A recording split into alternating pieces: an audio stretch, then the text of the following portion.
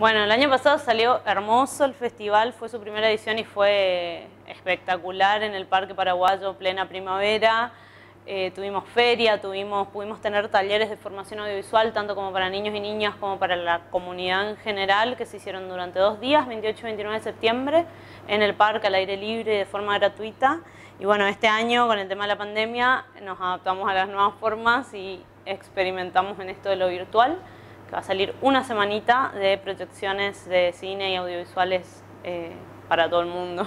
Con la participación de productores de la provincia y también de la región, importante. Estaba abierta la convocatoria de toda la Argentina, no solo de la provincia de Misiones, y eh, también sí, Brasil y Paraguay este año participaron un montón de varios estados de cada, de cada país. ¿De qué zonas, por ejemplo? Para Brasil, Itapúa, que es acá nuestro vecino enfrente, y eh, Alto Paraná, que es la región de Ciudad del Este. Y para Paraguay, no, eso para Paraguay, perdón. Y para Brasil em, estuvo abierta para Paraná, Río Grande do Sur y Santa Catarina, tres estados. Muchos géneros me contabas hoy llegar. Muchísimo, muchísimas temáticas, solo género, ficción y documental, y las temáticas variadísimas, nos llegó desde, no sé, de todo, terror, cómico, de cuestiones de género, derechos humanos, que era lo que nosotros por ahí queríamos mostrar, infantiles también, muchísima, muchísima variedad. Se va a enfocar en la cuestión de género y, derechos humanos, me decías. Eh, es el alma del festival. El año pasado también como que estamos tratando de encontrar también nuestra mirada, ¿no? De qué es lo que nosotros queremos como festival visualizar y compartirlo a la comunidad, porque la verdad es que hay muchísimas cosas y uno no puede agarrar todo. Pero nada, vamos a ver qué sucede. Es un poco experimental esta vez, la verdad. ¿Cuántas producciones van a estar participando este año? Son 49 cortometrajes que quedaron seleccionados y cinco largometrajes. ¿Y esa selección, contame un poquito cómo fue, cómo se vivió? Bueno, eh, abrimos la convocatoria por 20 días aproximadamente. Eh, fue un formulario online y totalmente gratuito para el que se quería inscribir. No tenía muchas condiciones. Eh, estuvo abierto y circulando y el 20 de septiembre cerramos la... El 20 de septiembre no, el 20 de agosto cerramos la convocatoria y resultó que teníamos 170 películas entre cortos y largos de, todo, de todos estos tres países. Así que hicimos una visualización de todo y quedaron estos seleccionados. Va a estar votando la gente, esto cabe destacar, pero asimismo va a haber este, gente de todos, de los tres países, ¿no? que van a estar al frente de, de la votación y del jurado, ¿no? Evaluando. Sí, la votación va a ser eh, libre para que todo el mundo que quiera votar y que vio alguna película y le gustó pueda hacerlo. Esos van a tener dos premios monetarios, tanto para cortos como para largos.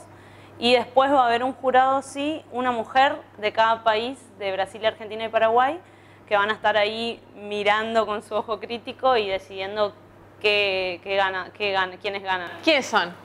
Son eh, Majo Stafolani, que es del Dorado, una realizadora misionera que vive en Buenos Aires desde hace muchos años. Ella va a estar representando a la Argentina.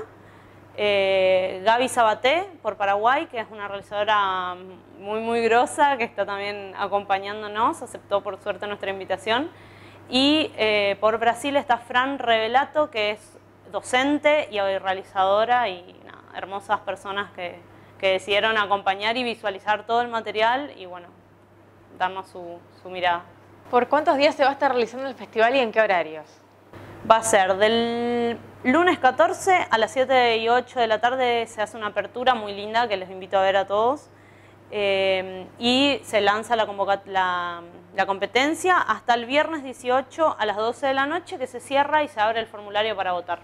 Ah, o sea, el formulario se abre recién a lo último. Recién cuando se termina la última película se abre el formulario hasta el otro día a las 8 de la noche aproximadamente. Les vamos a dar ahí hasta los últimos segundos para votar. Y bueno, vamos a ver en vivo quién es el ganador.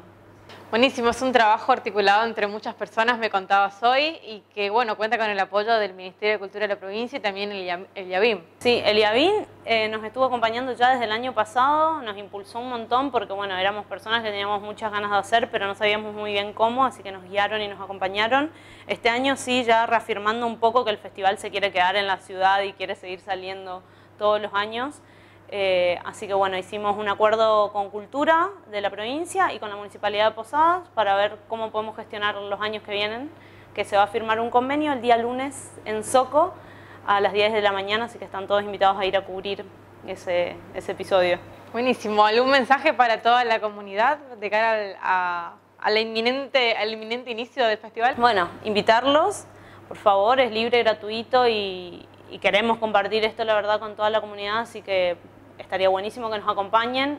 Y sí, agradecerles muchísimo al equipo del FAEP, que somos 25 personas laburando en esto desde el año pasado, eh, al pie del cañón, y que también cabe destacar que la mayor parte del equipo FAEP somos mujeres y disidencias, eso es increíble, no, estamos haciéndonos lugar en un espacio en el que por ahí no, no es habitual. Así que eso, muy agradecidos y muy agradecidos con toda la comunidad de Posadas porque lanzamos hace un tiempito cuando empezamos a organizarnos un paquete publicitario y nos acompañaron un montón de emprendedores y, y comercios posadeños en esto, así que gracias. Buenísimo. Y este, para que no pase desapercibido, a pesar de la pandemia, a fin de año se prevé una proyección. Ojalá.